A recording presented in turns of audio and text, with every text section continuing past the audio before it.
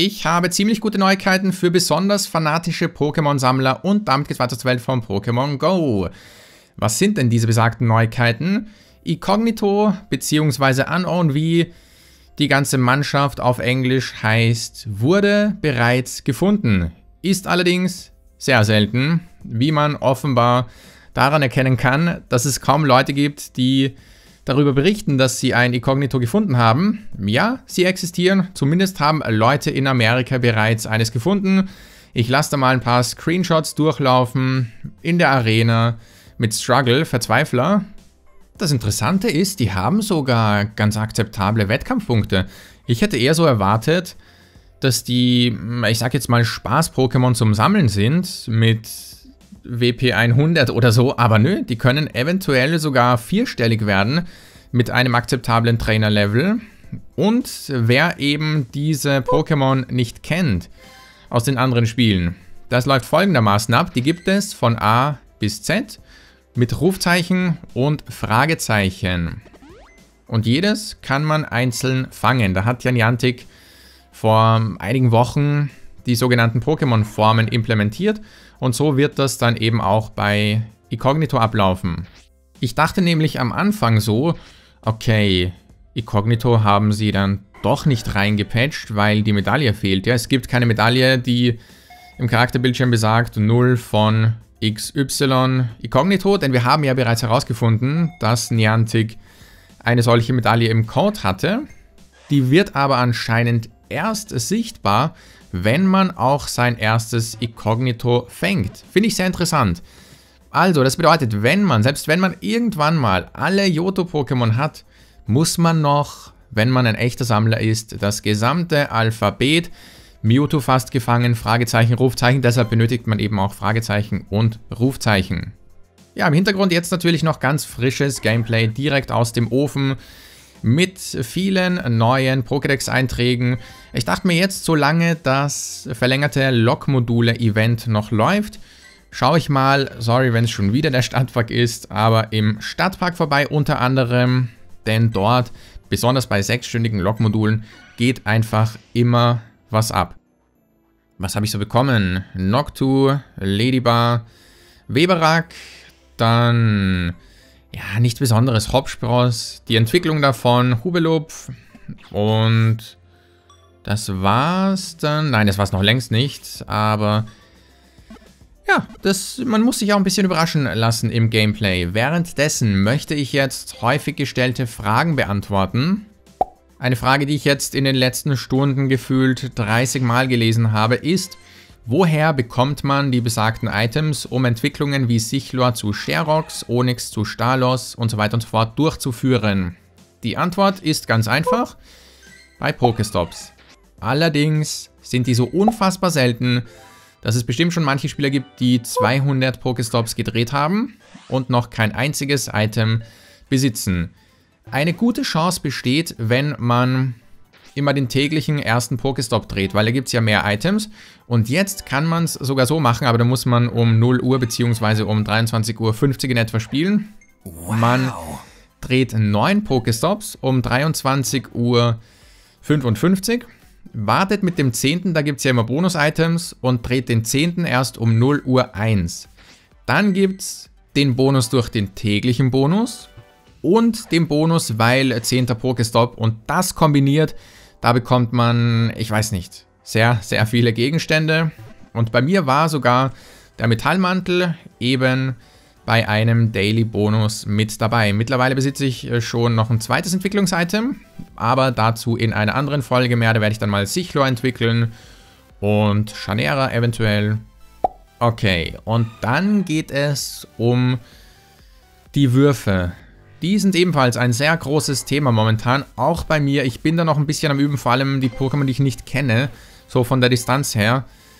Denn ich denke mal, das hat jetzt mittlerweile echt jeder bemerkt. Das Werfen hat sich vollkommen geändert. Besonders bei Taubsi so, da habe ich früher richtig hektisch gedreht. Mittlerweile ganz sanft, also wirklich, da gehört so viel Fingerspitzengefühl dazu und nur wenige Millimeter. Wer zu weit nach oben wirft, dem empfehle ich, weiter unten am Bildschirmrand zu drehen, wo man es normalerweise nicht macht, aber da kann der Pokéball ja auch weiter runter noch gehen. So weit unten am Display wie nur möglich.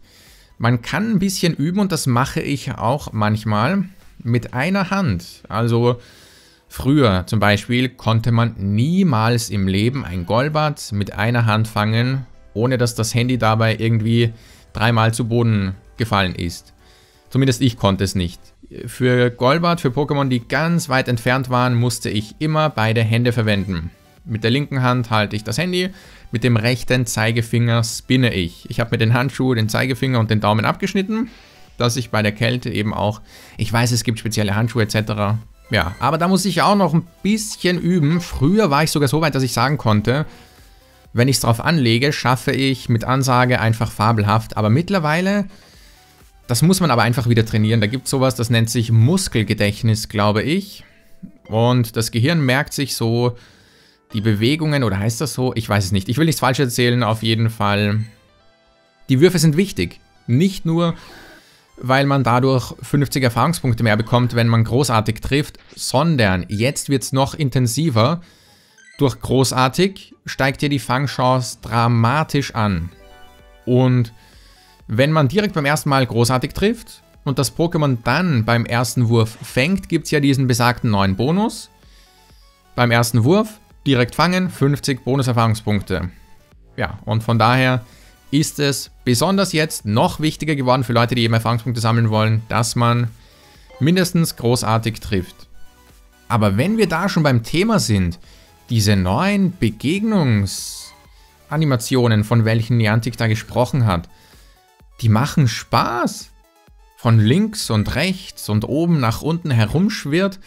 Und dann trifft man nicht so gut. Aber da gibt es jetzt spezielle Bären, mit welchen man das Ganze ein bisschen eindämmen kann. Macht auf jeden Fall Spaß, zumindest am Anfang. Mal schauen, wie es nach 5000 weiteren Pokémon aussieht, die sich bewegen, als gäbe es kein Morgen mehr. Naja. Was gab es noch so? Moment, Kommentare. Dann eine ganz wichtige Frage von Kevin XD. Niemand spielt dieses Dreck...